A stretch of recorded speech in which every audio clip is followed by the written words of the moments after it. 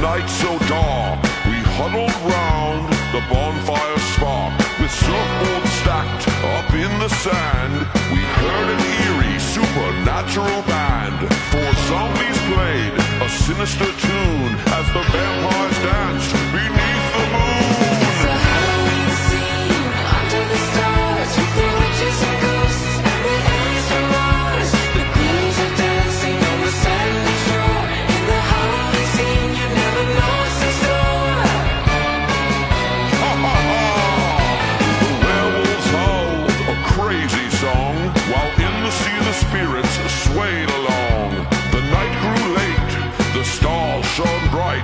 surf till dawn, till first daylight.